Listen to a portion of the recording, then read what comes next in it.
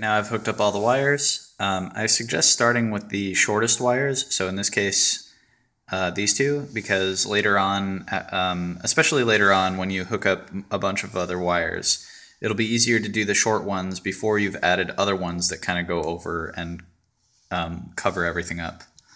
So I have here red at the top, black at the bottom, and these are all of these pins from the sonar sensor are lined up with the, the white housing. Um, you might have black housing, but that's okay. And I have the blue and yellow in the correct holes here. It's kind of hard to tell, but there's three open holes, then a yellow, then a blue. And down here I have red in one of the holes next to the red line and black in one of the holes next to the blue line.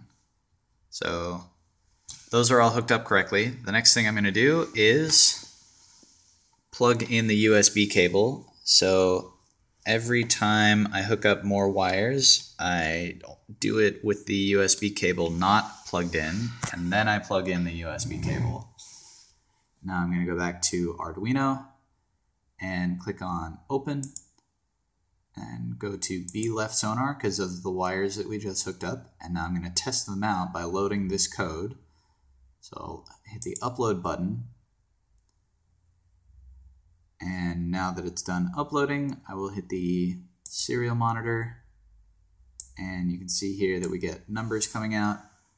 Um, and if I position the camera like this, uh, you can't really tell, but the numbers are, uh, they're about 2,000 right now. But if I put my hand in front of the sonar sensor, then they drop down to like 600. Move it away, and the numbers go back up to 2000. And put my hand in front. The important thing is that the numbers go down as I move my hand closer, or as something is closer in front of the sonar sensor, and they go up as, as something moves further away from the sonar sensor. And if you have all of that, then you've hooked up these wires correctly.